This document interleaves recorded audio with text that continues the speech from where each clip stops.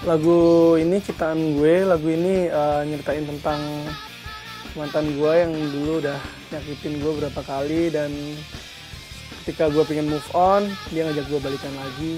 Akhirnya terciptalah lagu ini. Sedikit galau ya.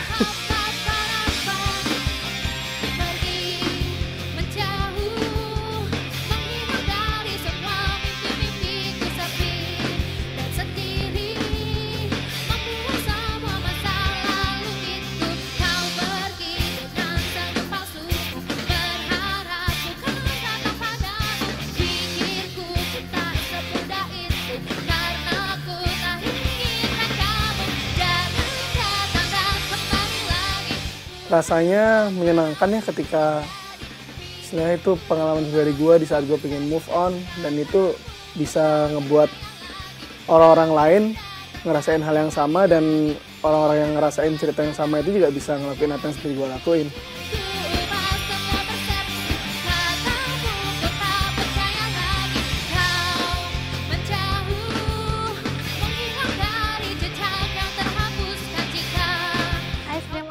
Itu sebenarnya berasal dari kesukaan semua orang di mana semua orang pasti suka manis dan kami anak-anak yang manis ya. Begitu banget ya.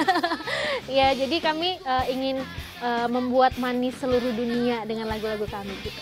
Uh, ketemunya sih karena kami teman nongkrong. Pertama Hendra uh, ketemu Rika ngajakin untuk buat band terus ketemu Partang Terus akhirnya akhir-akhir ini ketemulah dengan bapak ini. Tapi masih masih ini ya, masih edisional.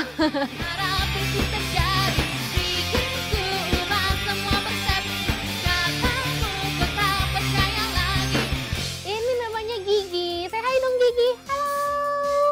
Ini personil paling bontot. Dia suka nari-nari uh, di atas panggung. Dia juga kadang-kadang suka jadi backing vokal. Terus kadang-kadang dia nggak mau manggung.